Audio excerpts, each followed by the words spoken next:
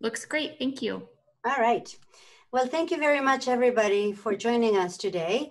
Uh, I will talk a little bit about handwriting analysis, some of the work uh, that we did in CSAFE 1.0, and what we are hoping to achieve in CSAFE 2.0. So um, the, we had one project with two main uh, sort of wings, if you will, uh, during CSAFE uh, 1.0 in terms of handwriting. Um, the one project was led by Hal Stern at UCI, and another one was led by me at Iowa State. Uh, the project that was led by Hal was a collaboration uh, with the um, Los Angeles Police Department. And what they focused on at the time uh, was uh, research on um, handwriting complexity, in particular, uh, signature complexity. So um, the question is, does the accuracy of the examiner um, uh, vary if you have more or less complex signatures? That's one question. And the other question is, how um, consistent are the uh, subjective evaluation of complexity of a signature when you present the same signature to many examiners? Um, do they all come up with the same um, uh, assessment, more or less? And so some of the accomplishments uh, in this uh, in this work were um, a research paper on the reliability of uh, signature complexity assignments.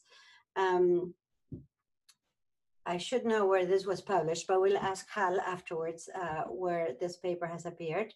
Uh, there's a manuscript in preparation, a draft manuscript that uses machine learning technologies or learning algorithms to uh, to do an assessment of signature complexity and um, that takes or at least hopes to take out a little bit of the subjective uh, part of it. And um, the the um, the UCI group uh, consulted on the design of a study to answer that second question that I had, which is that I posed, which is uh, relating complexity to uh, handwriting expert analysis. At Iowa State, we took a different uh, tack. So we are looking not at signatures, but at uh, uh, longer pieces of writing, if you will, samples of writing. Um, the question that we ask is if we have a closed set of writers and a question document, can we estimate the probability of writership for each one of those uh, writers in the closed set so that we can try to allocate the question document to the writer, uh, potential writer with the highest posterior probability of actually having authored that document. And so in the process of uh, doing that, we developed a piece of uh, software called Handwriter that is in the public domain. So if anybody's interested, you can find Handwriter um, you can link to Handwriter from the uh, CSAFE uh, webpage. I should say it's not finished. We're still working on it, but it works. Um, so what Handwriter does is it analyzes handwriting images and extracts uh, features for use in uh, a statistical model. And I'll, I'll talk a little bit about this in the next few slides. Um, there's a research manuscript that we wrote and submitted to Statistical Analysis and Data Mining uh, reviews, uh, a revision was requested and we are in the process of submitting a revision. So pretty soon we should be able to share this uh, paper. Um, we have developed, we, Amy Crawford, Dr. Amy Crawford, one of our new PhD students, um, she actually developed, uh, did her dissertation on the basis of this work. I should say two graduate students, Nick Berry who finished his uh, PhD last year, the year before. Uh, he was handwriter, the development of handwriter was part of his dissertation. And Amy, uh, part of her dissertation was uh, working on a statistical model for estimating that probability that I was talking about. There's a couple of research manuscripts in preparation, and I'll say something about her methodology in a minute. We have collected data uh, the data that are already available is from about 100 participants, but by now we have increased the number of participants and we continue collecting this data. Each one of these participants uh, provided we were asked, they were asked to copy three different prompts, three different times on each of three different occasions that were separated by about three weeks. So what this data set does is it allows, the, the data set was constructed so that we could look at the intra-writer variability. Uh, the In the future, as we add to this database, we're thinking about uh, maybe changing the design a little bit of the uh, data collection so that we can also look at the uh, between writer variability in addition to that. There's a manuscript that describes this data that was published in uh, Data in Brief. And uh, there have been multiple presentations uh, done from this work. So a little bit about Handwriter and um, and the modeling uh, approach that um, that Amy has developed. So Handwriter, uh, what it does is it takes a scanned sample of um, writing, and then uh, through a series of steps, uh, converts this, ends up with um, um, a series of graphs uh, that are obtained from the handwriting that sometimes, but not always, correspond to actual letters. And here's uh, this very nice uh, sort of progression of the pre-processing that Handwriter does. And by the way, this is not the, I mean, this this Handwriter uh, is, um, we did not come up with these ideas. Uh, we uh, learned a lot from other existing software like Flash ID, for example, that does something very similar. Handwriter does different things, but uh, in the same spirit. So take an image of handwriting and end up with a series of graphical structures uh, that can then be used for statistical analysis. At the here, the step E, for example, you see what Handwriter uh, does. Uh, essentially, it uh, defines um, nodes and edges, and nodes are defined as terminal nodes, and then anytime uh, three or more edges cross, uh, there's a series of rules that Handwriter uh, follows in order to come up with these graphical structures, and all of those are described in this manuscript that is under revision at this moment. In any event, once this is not still inside Handwriter, but it's going to be at the end of the summer. Once you have these graphical structures, uh, one of the, the next step is to uh, group them into similar, uh, into clusters, if you will, uh, that have, that include all similar, not identical structures. So for example, uh, so what we do is we use something called a k-means uh, clustering algorithm, uh, which is a dynamical uh, clustering approach. And what you end up with is clusters. Here's a sample of those clusters um, where you have an exemplar that I'm showing you uh, in red. And then all the little um, gray, uh, the smudgy grays around them are other uh, graphs that ended up in the same cluster. So as you can see, there's quite a bit of variability within each cluster in terms of what ends up um, in a cluster. So this is gives you a lot of flexibility. One of the, I think one of the big advantages of our approach is that you start with thousands of different graphical structures, but once you cluster them, we end up with uh, 40 clusters of um, similar graphical structures. 40 is an arbitrary number. We're working on seeing whether uh, that makes, there's a better, uh, more principled way to picking the number of clusters with which you work. So the data that we use uh, then are uh, shown below. So we have 40 clusters. And uh, for example, for writer one, document one, uh, we cl the cluster one, this writer contributed 42 graphs to cluster one, 21 graphs to cluster two, and so on and so forth.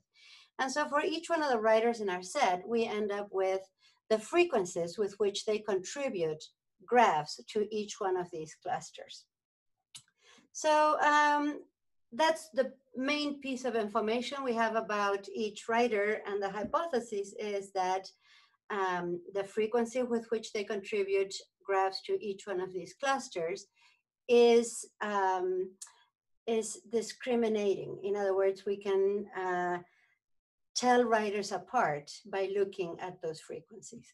In addition to those frequencies, and those are document level features, we also look at writer level features. So for example, um, let's take this one cluster that I'm showing you here. Uh, the, the exemplar is a straight line, but as you can see, there's, there's uh, other uh, elements in this cluster that have more or less slant. So the other thing that we look at is the slant uh, within cluster of the graphs that are contributed by each writer.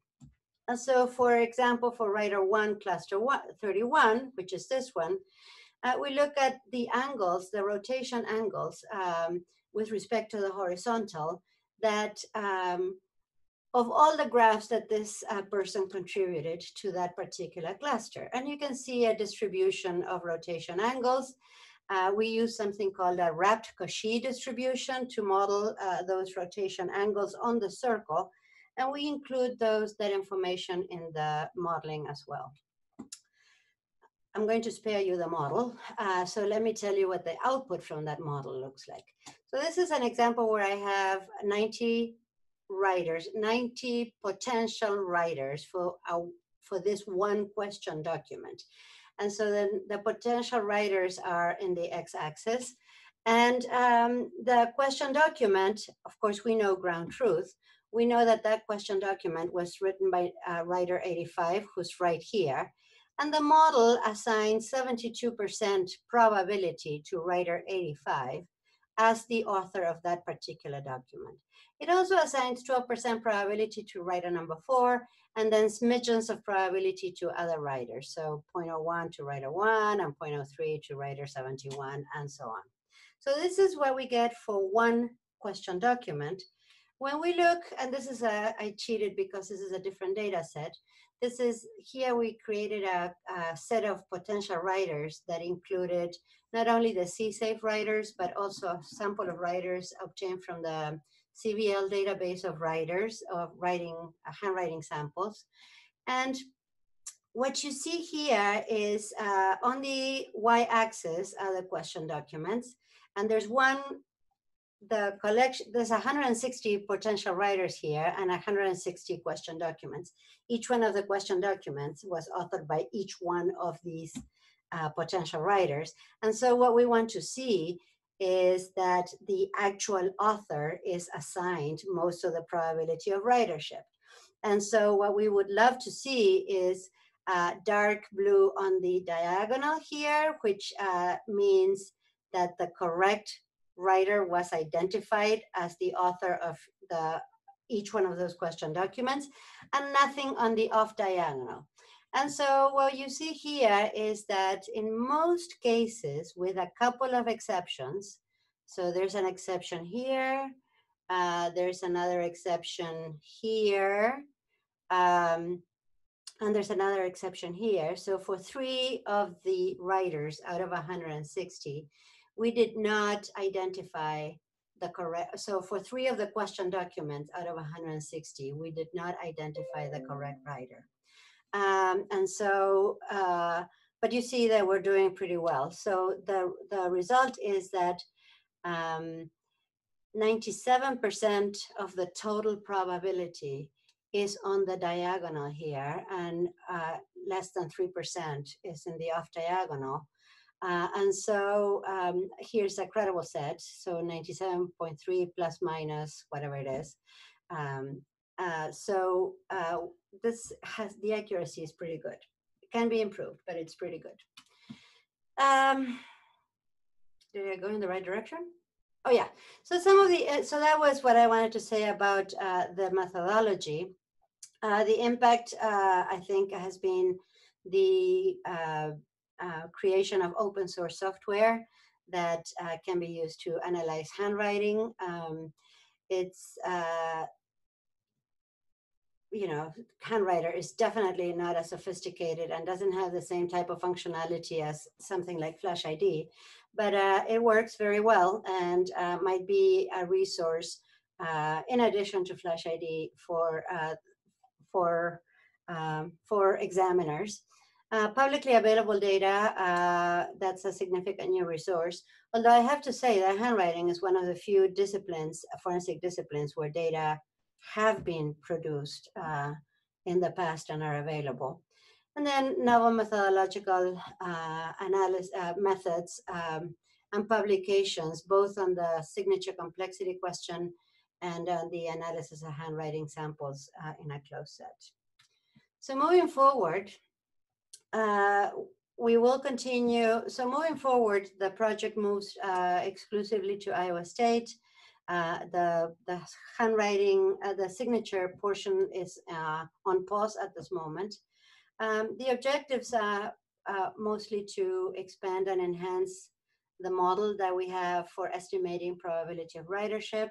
And what do I mean by that? I mean identifying new features that might help us increase that uh, accuracy of the classifier. Um, that's one of those things. And we have several things under uh, several things in the works. Um, revise Handwriter uh, to produce a beta version that, that is well documented and well commented so that people can start playing with it uh, and fix a couple of bugs. And then uh, continuing uh, collecting uh, standard writing samples from a large set of writers. Our hope is to end up with about 600 writers in our data set uh, by the end of the next three years or so.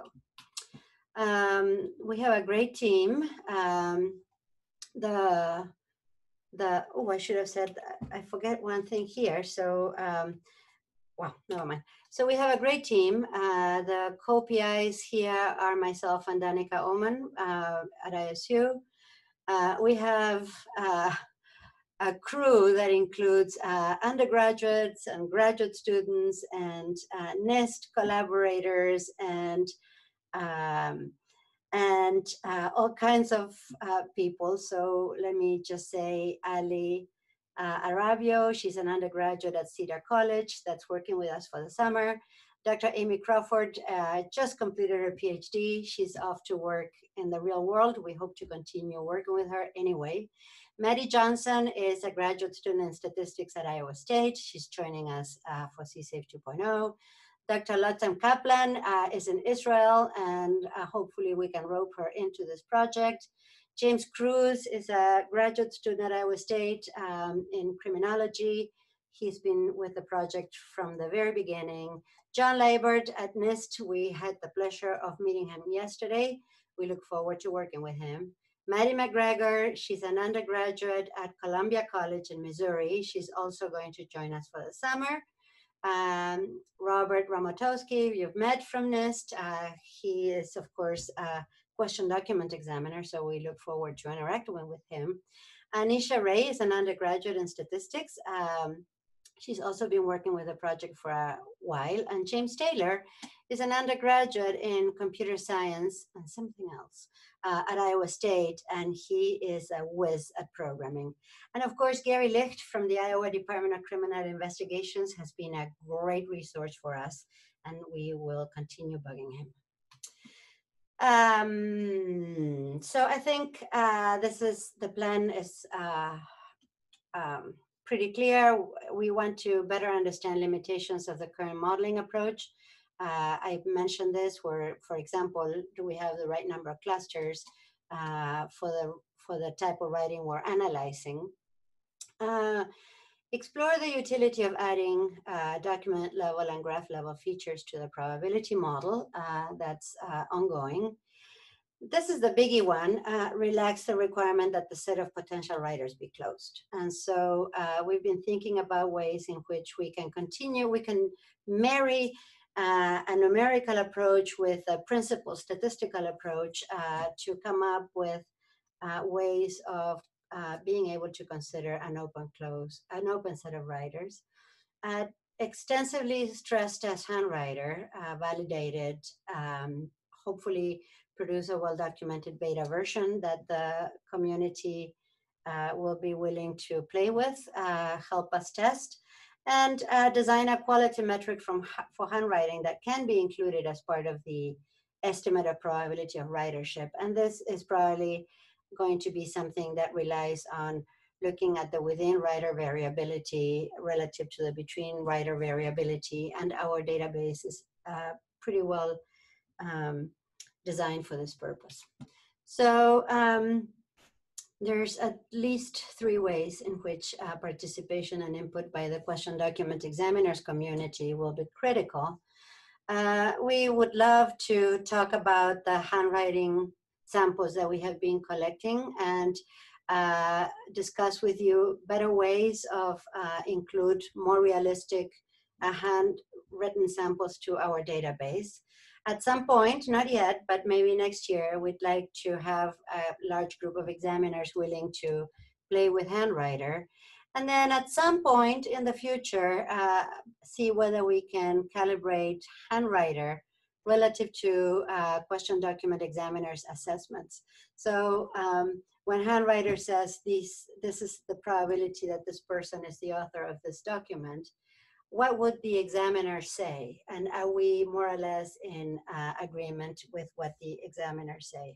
So we mean for handwriter not to replace the examiner, but to be uh, a tool that the examiner can use to either confirm or uh, not confirm his or her assessment.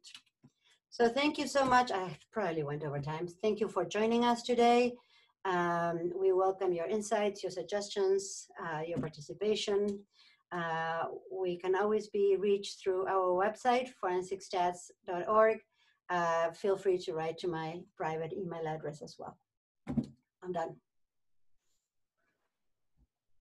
Thank you, Alicia. It looks like there is a question in the Q&A if you click in the bottom of your screen. Uh, let me stop sharing. Yes from Roy. How do you assign a, uh, Roy Maxion, how do you assign a confidence to the handwriting results?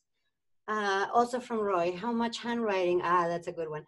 Uh, how long a string or sentence does a subject have to write? So uh, let me start with the second one because that's the easy one.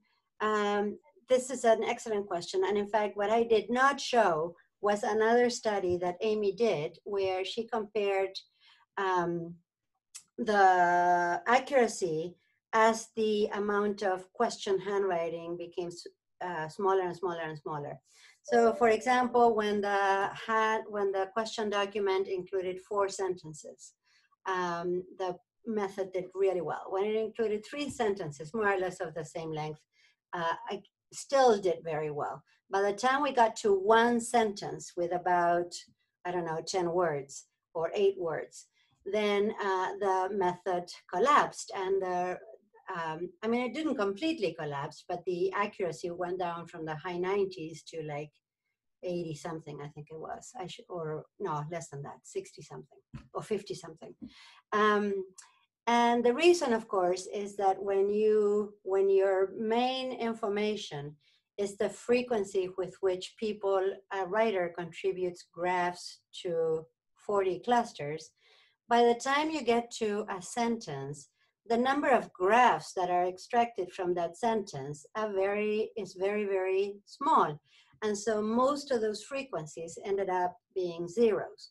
And so uh, what we're looking at is, do we have to have different number of clusters if we want to analyze different size of question documents?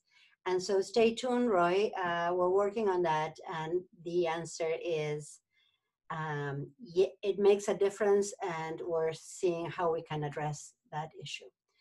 I don't understand the assigned confidence to handwriting results. Are you talking about that credible set that I presented? Um, that comes, that was computed numerically. So the model, the probability model that Amy came up with was fitted using something called MCMC.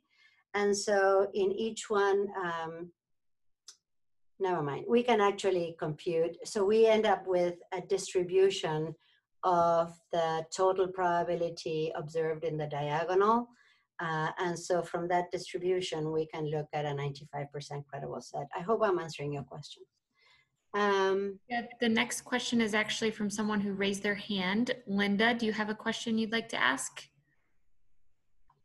Yes, um, thank you. You mentioned um, earlier in your presentation that one of the things that you were looking at was the intra-writer variation. Yes. And, um, I'm interested in that, and I'm curious, did you guys do any quantification of that per writer? Yes. Um, I should let Amy, uh, Amy, are you there? Yeah, I'm here. Okay, why don't you respond to that one? Um, so we we haven't set up necessarily a formal study to to capture intra-writer variability specifically. Um, we're we're thinking of ways we can use our current modeling structure to investigate um, aspects of intra-writer variability, but I think there's the really interesting room to grow with this data set that we've collected. We've got a lot of repetitions for each uh, contributor to the data set. Um, and we've got we've got contributions over three different set writing sessions and each session took place three weeks apart um, in time. So we haven't, you know, sit, we haven't sat down to look at, um, you know, specifically for that task, we've been focusing mostly on the writer identification task in the closed set. Uh, so th- there's really interesting room um, to grow more formally with an intra-writer variability study. Yeah, one thing that I will add, thank you, Amy. One thing that I will add to that is that um, one thing, you know, we could look at the inter-writer variability in different uh, aspects, right? So one of them would be what's the variability within a writer in terms of the frequency with which this writer contributes graphs to the clusters. That's one. Uh, the one that would be uh, would be easy to look at is, uh, for example, the slant. Uh, so we do fit distribution to the slant angles uh, within writer for each writer in a cluster.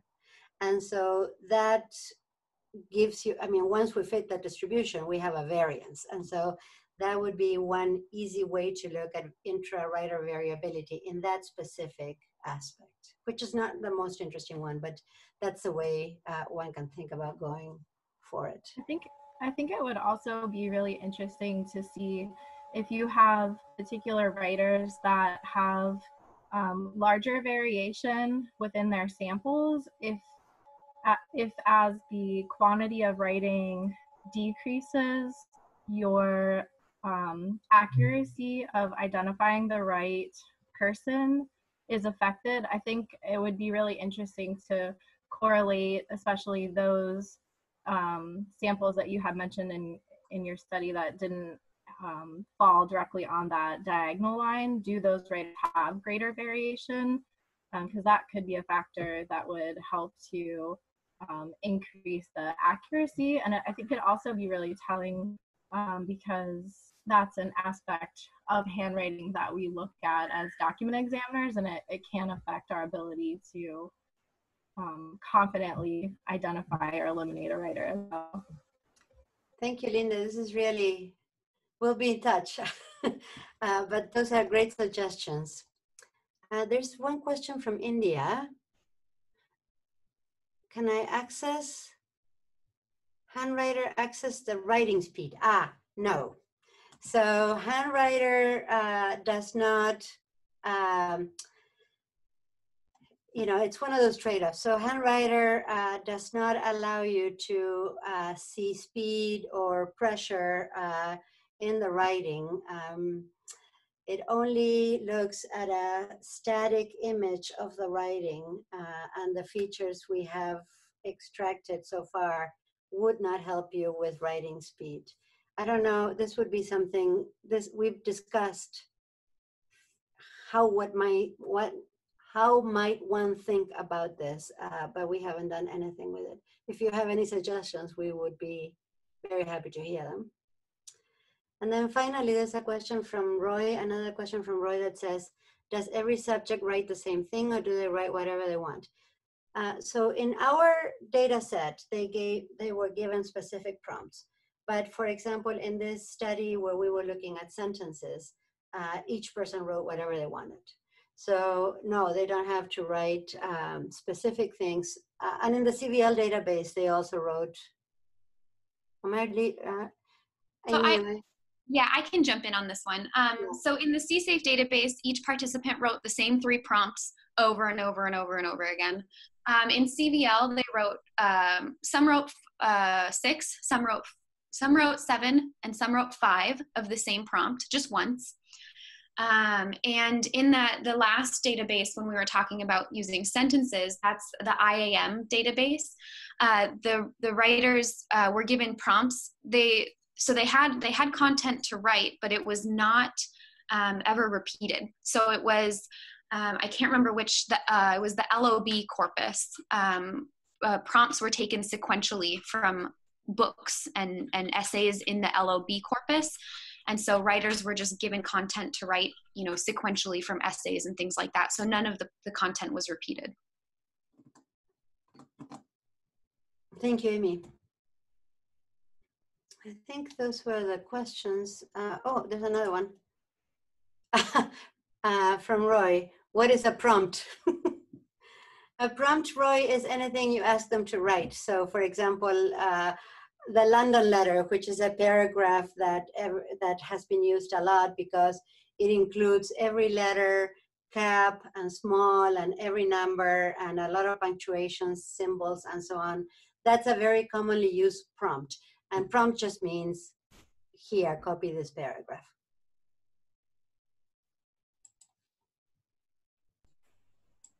I think that's. Uh, Linda has one more comment in the webinar chat. Um, Alicia, can you see the chat or would you like me to read the comment? Uh, hold on a minute. Um, I should see the chat. Oh, Linda, maybe interesting to increase your writing database robustness to gather writing using multiple types, types of writing instruments, also lined or unlined paper. So the writing instruments, um, that's a that's a that goes along with a question from the Indian uh, participant. Um, the, the handwriter uh, is designed to sort of blow over a writing instrument. So when the uh, image of the handwriting is processed, um, what uh, what handwriter does is it creates a skeleton of the handwriting that is one pixel wide. And so whether you start with really chunky writing uh, from a Sharpie or a very fine writing from a very fine instrument, you end up with a one pixel representation of that handwriting. Now that's a trade-off, right? So this is one of the one of the choices that we had to make when developing Handwriter. Uh, it doesn't help you to identify or include that variability that's due to writing instrument. Amy, jump in if you. Yeah, so I, I think for external use, you know, if somebody else were to come and want to use our database, because it is set up really well for intra-writer variability study, um, you know, it might be useful for others to have different writing instruments or, or paper to, you know, and things like that. We were trying really hard to control those aspects of the database so that we could really get a handle on the, the structure of the writing um, itself. Uh, we didn't want, you know, we didn't want the pen to have anything to do with it or the paper anything like that. We just wanted, we wanted to get at the writing, the structure of the writing itself. And so we controlled um, those aspects in our data collection. And for us, you know, the, the utensil, like like Alicia was saying, doesn't matter much. Um, and so we kind of designed our, our, our, data collection for, for our writer identification task. Um, but for others, external users of the data set, that would be something that could be useful.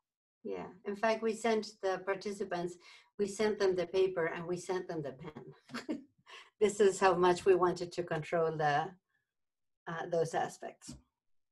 But thank you for your comments, Linda. Okay, we'll go ahead and conclude the morning session of the CSAFE 2020 All Hands meeting. Thank you to Alicia and the handwriting group and the other groups that presented this morning. Um, and thank you to the participants for joining us. We will take a 15 minute break at this point and return at 1230 p.m. Central, so approximately a 15 minute break now. Um, our next session is Lynn Garcia, and she will be providing um, some keynote comments for today's meeting, and we're very excited to hear from her. So please join us in approximately 15 minutes, and Lynn Garcia with our keynote um, for today's conference. Thank you.